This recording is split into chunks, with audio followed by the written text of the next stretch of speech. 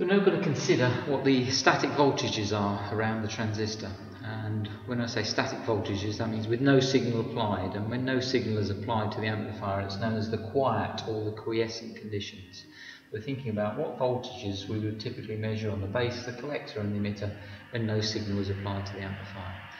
Well, first of all, we're going to assume that this is a Class A amplifier. A class A amplifier means the transistor is turned fully on before the signal is applied. So when the tiny signal comes in, applied to the base, it will turn the transistor on slightly more and off slightly more. That's a Class A amplifier.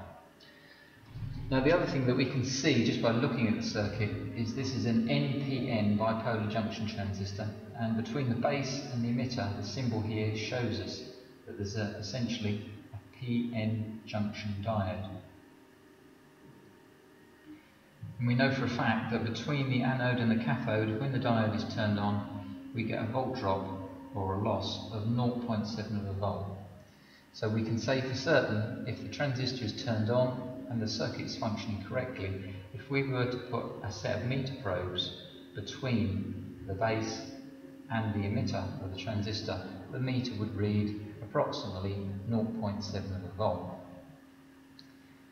As this is an NPN transistor, it requires positive on the base to turn it on, so we can say that the meter would show the base was more positive than the emitter. The base was positive with respect to the emitter. So the red probe of the meter would go on the base and the black probe on the emitter. And we would expect to see 0.7 of a volt there.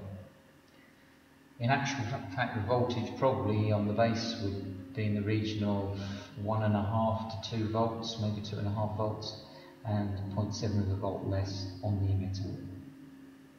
In the next video clip, we'll look at what typical collector voltages we would expect to find.